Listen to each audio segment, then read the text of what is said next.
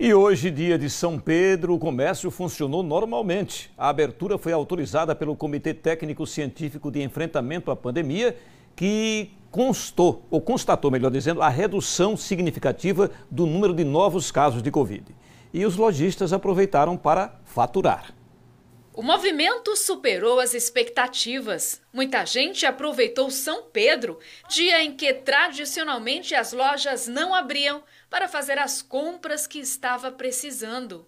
As lojas ficaram repletas de consumidores. A medida do governo em permitir a abertura do comércio e serviços não essenciais neste dia de São Pedro foi baseada na orientação do Comitê Técnico Científico de Enfrentamento à Pandemia após constatar redução significativa do número de novos casos da Covid, de internamentos pela doença e também a redução do número de mortes em 40% na capital, como também o avanço da vacinação. O vai e vem de pessoas no calçadão deixou os vendedores animados. A comissão do mês de junho está garantida. Com essa retomada, né, que ia ser feriado, depois resolveram retomar que, vinha, que o comércio abrisse, para nós foi importante para que nós tenhamos mais vendas, né?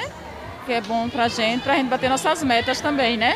Que é o mais importante, né? É um dia a mais, né? Para, tipo, se fosse feriado, considerado um feriado, ia atrapalhar um pouquinho nas vendas, mas como decidiu abrir, ajudou bastante, né? Estudo feito pela SESI aponta que as vendas deste mês de junho já superam as registradas em 2020. Quando você pega como referência 2020, nós estamos muito bem. Até porque 2020 é um ano que não existiu.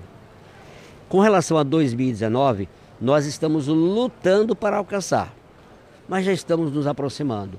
E é assim que funciona. Não dá para construir tudo num dia, nós vamos construir um pouco a cada dia. Com certeza, se tudo acontecer como está acontecendo e os números se mostrarem como estão se mostrando, esse ano promete ser um ano bastante interessante para o comércio.